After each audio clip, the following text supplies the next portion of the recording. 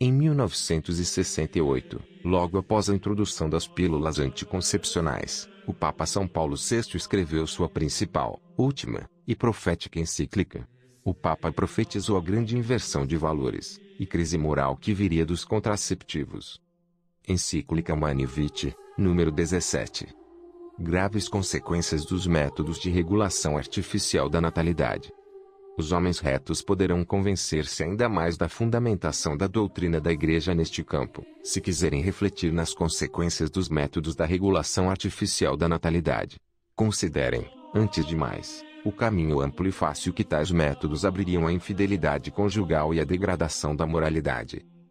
Não é preciso ter muita experiência para conhecer a fraqueza humana e para compreender que os homens, os jovens especialmente, tão vulneráveis neste ponto, precisam de estímulo para serem fiéis à lei moral e não se lhes deve proporcionar qualquer meio fácil para eles eludirem a sua observância. E ainda de recear que o homem, habituando-se ao uso das práticas anticoncepcionais, acabe por perder o respeito pela mulher, e, sem se preocupar mais com o equilíbrio físico e psicológico dela, chegue a considerá-la como simples instrumento de prazer egoísta e não mais como a sua companheira, respeitada e amada.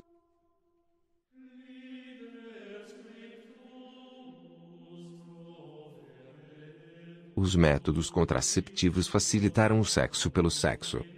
Houve um aumento na erotização da população e do número de parceiros íntimos. Mesmo usando tais métodos, muitas jovens acabam engravidando em tais relações. Destas, muitas são abandonadas. Algumas decidem abortar, assassinar seus filhos.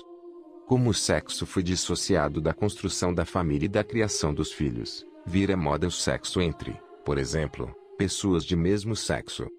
Como o adultério foi facilitado, e a cultura alterada, aumentam as separações. O Papa tentou nos avisar, mas nós não o ouvimos.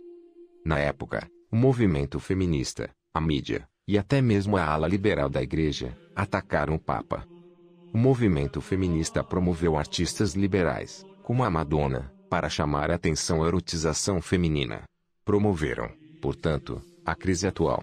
Hoje, continuam promovendo mais e mais a erotização, enquanto reclamam dos efeitos da mesma, a cultura do estupro.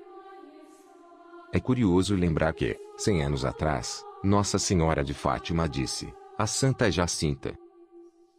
Virão certas modas que ofenderão muito a Nosso Senhor. Vão mais almas para o inferno, por causa dos pecados da carne, do que por qualquer outra razão. A irmã Lúcia dos Santos, a vidente de Fátima que viveu por mais tempo, escreveu certa vez uma carta ao cardeal Carlo Cafarra, e nela falou sobre a batalha final entre Deus e Satanás. O confronto final entre o Senhor e o reino de Satanás será sobre a família e sobre o matrimônio.